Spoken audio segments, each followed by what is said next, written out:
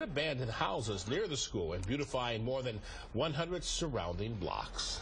Leaders in Macomb County gather to discuss diversity around the state. This is the Breakfast of Nations event in Clinton Township. One of the key speakers was Bing Goei, who heads up a new office created by Michigan Governor Rick Snyder. It's called the Office of New Americans, which highlights the important role foreign-born residents play in accelerating the state's economy. When you look at uh, the companies like Dow, it was, uh, you know, started by a Canadian immigrant. When you look at companies like Meijer, that was started by a Dutch immigrant. And I think you can, uh, Macomb County can have their own examples of immigrants who have been tremendous contributors uh, to the economics uh, base, but also to the cultural richness of Macomb County.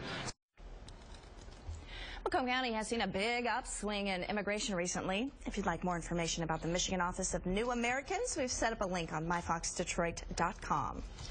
For some football fans, it's almost as good as Christmas. The NFL draft starts tonight. Our Sportsworks crew has a look at some of the players that might fall to the Lions at number 10 up next.